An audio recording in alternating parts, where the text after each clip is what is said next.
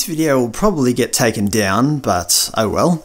Over the last few weeks, my family and I have been watching the hit TV show LEGO Masters on Channel 9.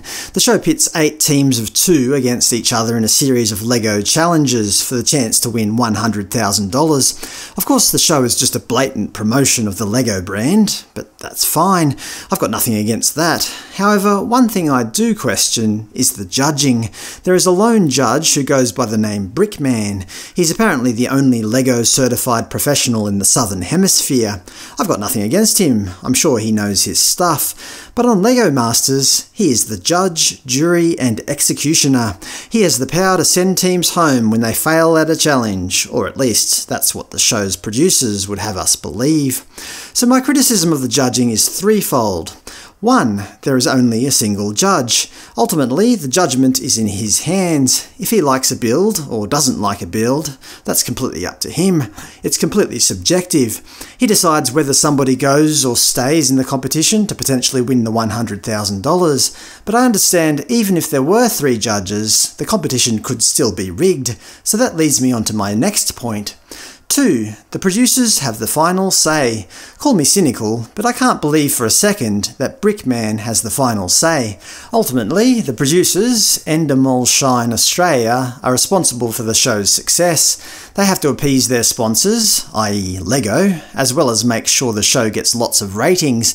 A few times on the show, we saw Brickman walking away to think about his decision. No doubt he went off to talk with the producers. If the producers want a particular team to go through, they'll go through. Of course, I have no evidence of this, as I can't track down the judging criteria. I don't think it would be made public anyway. But it should be. We're supposed to be living in a democracy after all.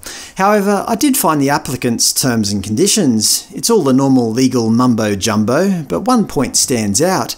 You agree that the producer may disqualify you at any time from participation in any stage of the application process without providing any reason. There's also a clause stating that you must sign a separate participants agreement if you are selected to go on the show, an agreement that isn't made publicly available, of course. I assume all the judging criteria are contained within. Unsurprisingly, there's also the confidentiality agreement, stating that all matters concerning the program are kept absolutely confidential. In other words, you can't go blabbing to the media about anything that goes on in the show unless you want to be sued. But the biggest reason why I think LEGO Masters is rigged is 3. The final challenge. I'm not saying that the best team didn't win, just that the judging procedure was completely rigged.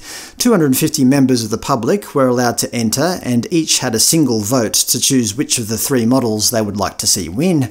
Obviously, in such a big crowd, there's going to be a fairly even distribution of votes. Just for an extreme example, however, imagine the 250 votes were distributed as follows 140, 50, and 60.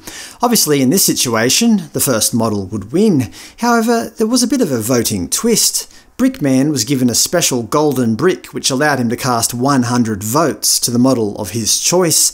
So as you can see in my example, no matter where Brickman places his 100 points, the team that he choose will win.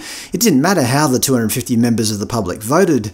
Of course, you could imagine a situation where it would matter, but I don't think that's very realistic.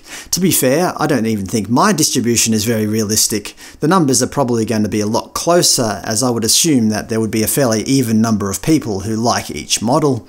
The biggest problem, however, is that the show never revealed the voting results. Obviously, the producers have something to hide. I think I'm right in saying that whoever Brickman chose was going to win, and if you believe what I said in point 2, then ultimately the producers chose the winner. Democracy be damned. So to answer the initial question, is LEGO Masters rigged? Of course, but I suspect none of you believed otherwise.